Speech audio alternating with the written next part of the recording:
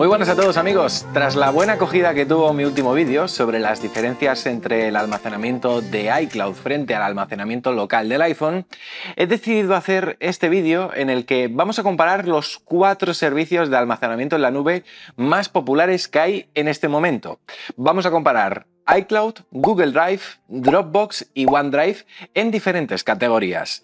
Precio y almacenamiento, características y limitaciones de cada uno, velocidad de subida y descarga y por último, seguridad de los datos. Así que os animo a que os quedéis ya que puede ser de gran interés en caso de que estéis interesados en buscar algún servicio de almacenamiento alternativo al que ya estéis utilizando para, bueno, ya sabéis, poder tener un respaldo extra de aquellos documentos o archivos importantes que no queréis perder. Vamos a comenzar analizando los diferentes precios y capacidades que nos encontramos en estas cuatro alternativas. Empezamos con iCloud. Al momento de grabar este vídeo, iCloud ofrece los siguientes planes. Un plan gratuito con 5 GB, 50 gigas por 0,99 euros al mes, 200 gigas por 2,99 euros, 2 teras por 9,99 euros, 6 teras por 29,99 euros y 12 teras por 59,99 euros al mes. Nos vamos a Google Drive. Google Drive ofrece 15 gigas gratis con cada cuenta de Google, siendo el que más ofrece de los cuatro servicios que vamos a comparar. Además de ser también el que más planes de almacenamiento de pago ofrece dentro de a Google One. Concretamente 100 gigas por 1,99, 2 teras por 9,99, luego hay un plan de 2 teras más inteligencia artificial por 21,99, 5 teras que incluye también inteligencia artificial por 24,99, 10 teras por 49,99, 20 teras por 99,99 y 30 teras por 149,99. Pasemos a Dropbox. Dropbox ofrece 2 GB gratuitos ampliables cumpliendo ciertas tareas y los siguientes planes de almacenamiento mensuales pagando, que son 2 teras por 11,99 y 3 teras por 22 euros. Luego también hay 9 y 15 teras, pero dentro de los planes pensados para empresas que, bueno, te obliga a tener un mínimo de 3 usuarios pagando 20 y 24 euros mensuales por cada uno. Por último tenemos OneDrive, el servicio de Microsoft, el cual ofrece 5 GB gratuitos y cuenta con dos capacidades disponibles para contratar.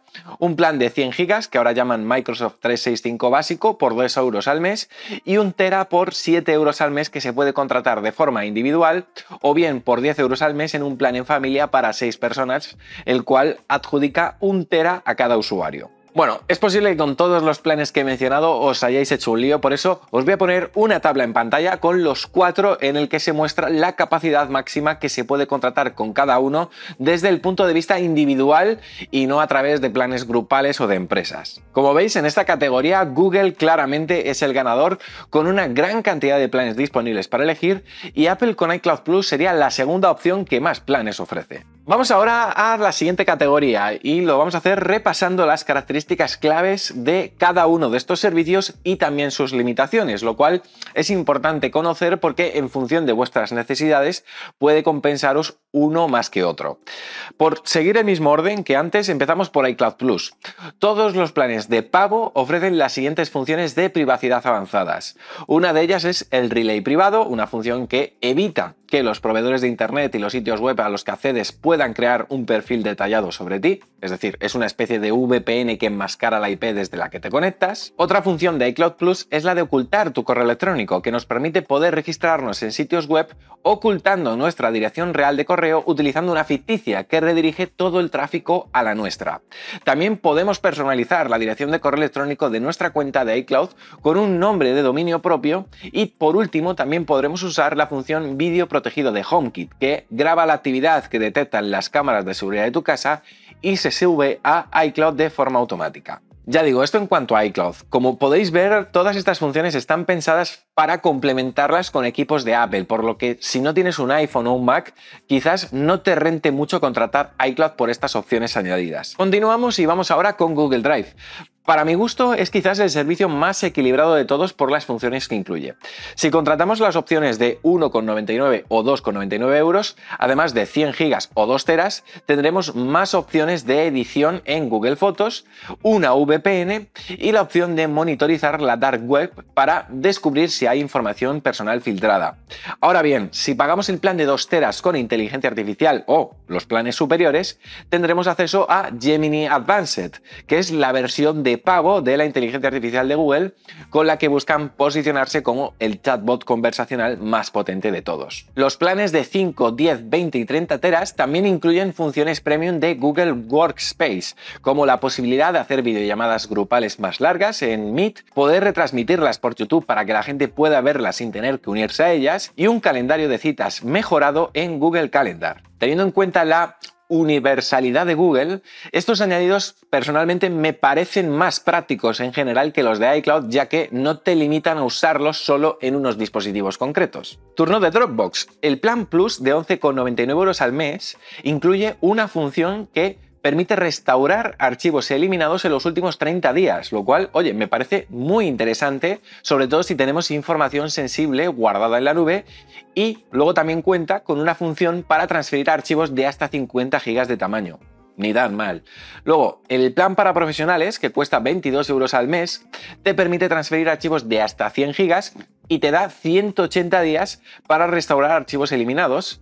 Y luego también hay algunas opciones extra, como por ejemplo hacer un seguimiento de la interacción con archivos, solicitudes de firma ilimitadas, posibilidad de editar PDFs y grabación, revisión y edición de vídeos. A ver, Honestamente, aunque algunas funciones me parecen interesantes para ciertos públicos, en mi opinión creo que es un poco caro para lo que ofrece.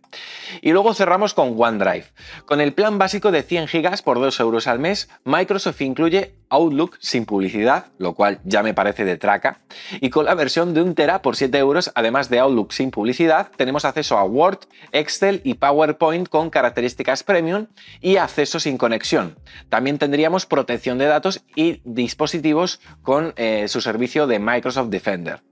A ver, particularmente en cuanto a OneDrive, creo que 7 euros por un tera está muy bien, sumándole el acceso a Office 365, pero he hecho en falta, por ejemplo, alguna versión con más capacidad. Además de todo esto que he dicho, la mayoría de estos servicios cuentan con versión web y también aplicación para ordenadores y móviles, con excepción de iCloud, el cual no cuenta con acceso a una eh, aplicación propia en Android, lo cual considero que es un hándicap bastante importante con respecto al resto. Por cierto, ahora continuamos, pero antes, si os está gustando el vídeo, por favor, os agradecería que le dieseis un me gusta, que es gratis, no cuesta nada, que dejéis un comentario para, bueno, por ejemplo, decidme qué nube de almacenamiento utilizáis vosotros y por qué, y también que os suscribáis al canal si queréis que hagamos más vídeos como estos. Ahora sí, venga, continuamos. Una prueba que hice internamente es la de probar las velocidades de subida y de descarga de los cuatro servicios y comparar cuánto tarda cada uno en subir y descargar el mismo archivo de un giga en las mismas condiciones de red.